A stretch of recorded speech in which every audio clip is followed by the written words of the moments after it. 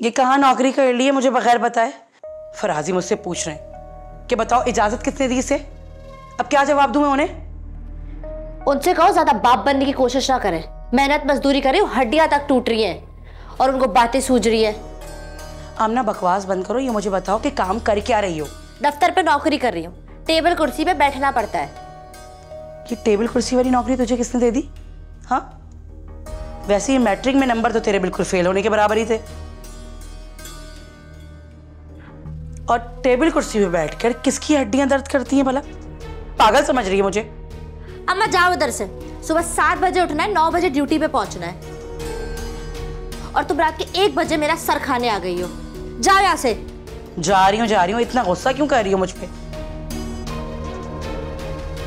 और हाँ फ़िक्र करने की कोई ज़रूरत नहीं है। अब्बा से कहते ना बहुत सोच समझ के नौकरी की है। कुछ बनने वाली हूँ। कह दूँगी।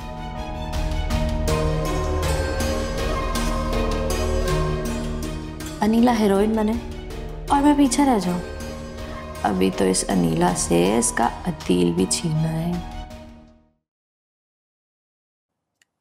अदील जगाया क्यों नहीं आपने मुझे? कोई बात नहीं। मैं नाश्ता बना देती हूँ। इसकी ज़रूरत नहीं है।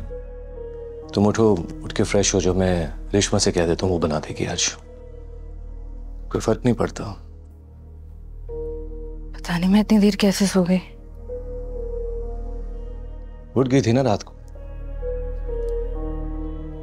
नहीं, मेरा मतलब है मैं थोड़ी देर के लिए उठा तो तुम बिस्तर पर नहीं थी। एक दफ़ा जब आँख खुल जाए और दोबारा ना लगे तो इंसान बहुत डिस्टर्ब होता है। शुक्र है, मुझे तो जल्दी नींद आ गई थी। आई थिंक तुम सोई नहीं हो, है ना? इसलिए सुबह देर तक सोती रही हो। मैंने मुनासिब नहीं समझा कि मैं तुम्हें उठाऊं। खैर, नाश्ता करके जाऊँगा। फ़िक्र मत करो।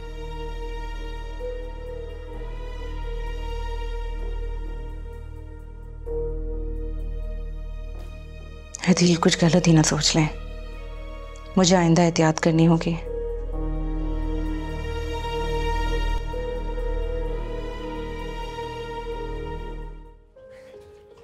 अस्सलाम वालेकुम वालेकुम अस्सलाम अनीला अचानक तुम्हें देख के बहुत अच्छा लगा। शुक्र है आपको इनको देख के अच्छा लगा। शौक नहीं लगा।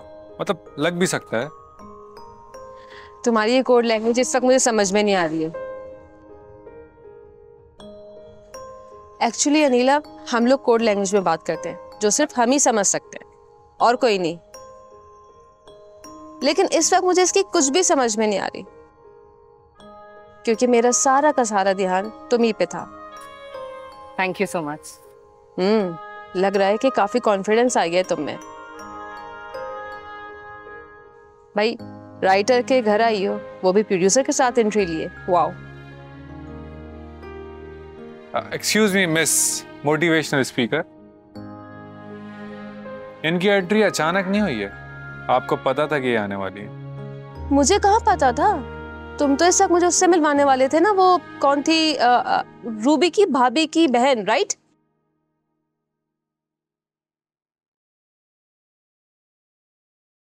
इनसे मिले। ये है रूबी की भाभी की बहन।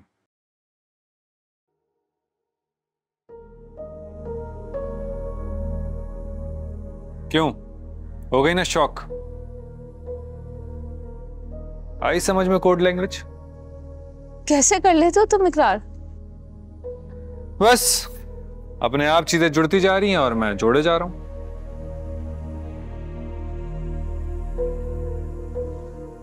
अनीला तुम वाकई आमना की बहन हो?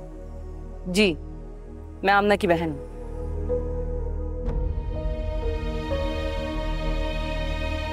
तो क्या तुम रूबी से मिलने आई हो? जी।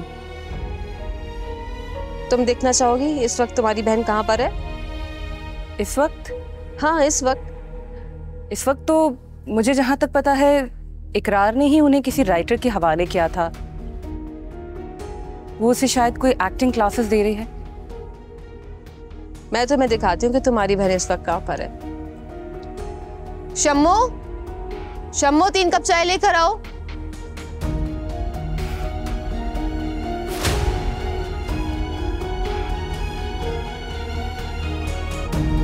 आमना? आमना, तुम यहाँ क्या कर रही हो? कौन आमना जी? मेरा नाम शमो है। मालकन जी, मेरी शक्ल आमना से मिलती है, इसमें मेरा क्या कसूर है?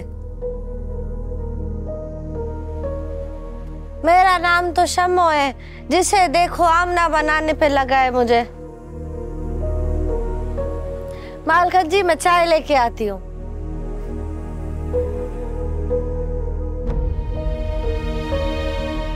इकरार ये ये सब क्या है? आपको क्या लगता है? ये आमना है या शम्मो? ये आमना ही है। आमना आमना जैसी ही शक्ल है। जी बिल्कुल। ये आमना ही है। और ये था इसका टैलेंट जिसने आपको भी हैरान कर दिया। इसने आपको भी सोचने पर मजबूर कर दिया कि ये आमना है या शम्मो। तो ये था इसका एक्टिंग का टेस्ट ये मेरे अगले सीरियल में कास्ट हो रही है। वाकई वैसे मेरे लिए तो ये बहुत बड़ा सरप्राइज़ है। अभी तो तुम्हें रूबी से मिलके बड़ा सरप्राइज़ मिलने वाला है।